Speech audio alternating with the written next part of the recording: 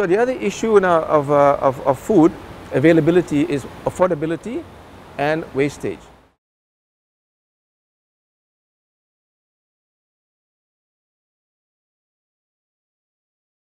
I want to link this in to the issue of poverty, poverty, if, if, if I may. Yeah? Because a lot, the reason why, why, why people need food is not because there's not enough food. Uh, and I was at another seminar earlier where I mentioned the fact that we, you can find food everywhere, at every sundry shop, in every small town, every you know, village. You can find food. But the issue now is, is, is affordability. Can the people buy the food or not? buy food. So, and, and that leads, leads to the issue of poverty. So you might you may see the food. And in fact, in fact, if you look at it from, from that point of view, the global hunger index, in terms of global hung, hunger index, Malaysia is at, is at 30, uh, is at 40, 40 over 117 countries. And so it's, we are regarded as moderate. But the word moderate actually doesn't mean much for, the, for the, those who need food because they can see the food in the shops, but they can't buy it. And this is now the, issue. And there's, there's even, a, there's even a, some feedback that the menu Rahmah at 5 ringgit only, 5 ringgit. Now 5 ringgit a person is not an issue. But 5 ringgit, a family of 5, that's 25 ringgit a day, uh, that's an issue.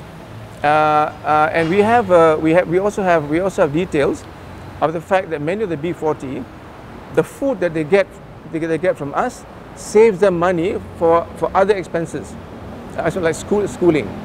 So to come to that point, so I think it's not, it's not a case of uh, why, you know, why, why, why people need more food. The issue now, I think, for, for me is basically poverty.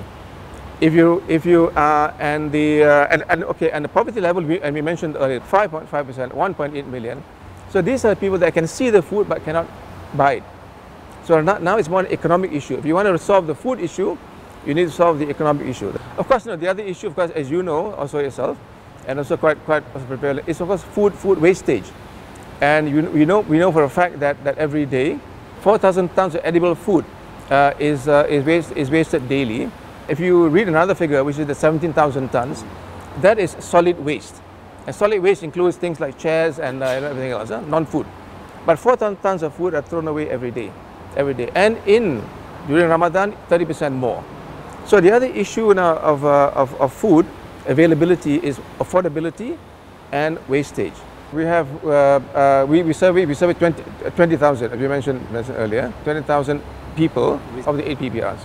Our volunteers are very varied. So in fact, if you come, if you come say typically if you come, come on uh, tomorrow, we have about 200 volunteers that regularly volunteer, volunteer with us.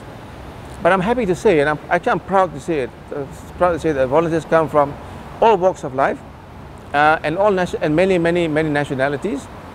You find, you find Peruvians, uh, uh Nigerians, uh, you know, Indians, Chinese, people that come, university students. You find people even in their 60s who come who can volunteer. Volunteer.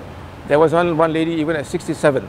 So you have a, we have a very good mix mix of, of uh, volunteers, of which I'm very proud to say that that, uh, that that we work with them.